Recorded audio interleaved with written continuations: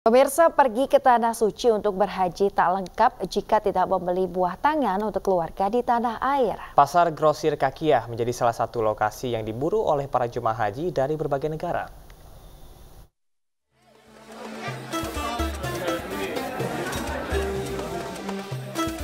Pasar Kakiah, pusat grosir oleh-oleh yang terletak di distrik Kakiah, Kota Mekah, Arab Saudi, tak pernah sepi pengunjung.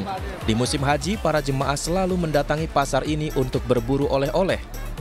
Berbagai ragam oleh-oleh tersedia di pasar grosir yang berjarak sekitar 9 km dari Masjidil Haram. Tak hanya jemaah Indonesia, jemaah haji dari berbagai negara pun banyak yang mengunjungi pasar Kakiah yang dikenal surganya oleh-oleh ada sajadah, tasbih, sama itu gantungan kunci kayak gitu. Harganya murah-murah Uh, standar lah, lumayan lah. Hah? Ya harus pinter nawar sih kalau mau ke sini.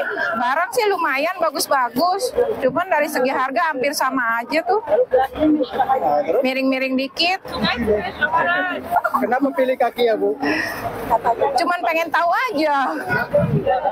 Katanya murah-murah gitu, jadi pengen tahu aja kayak gimana. Katanya kan kayak tanah abangnya Indonesia gitu.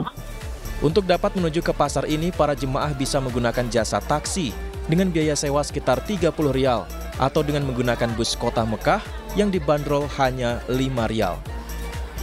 Dari Mekah, Arab Saudi, Ahmad Tasori, iNews melaporkan.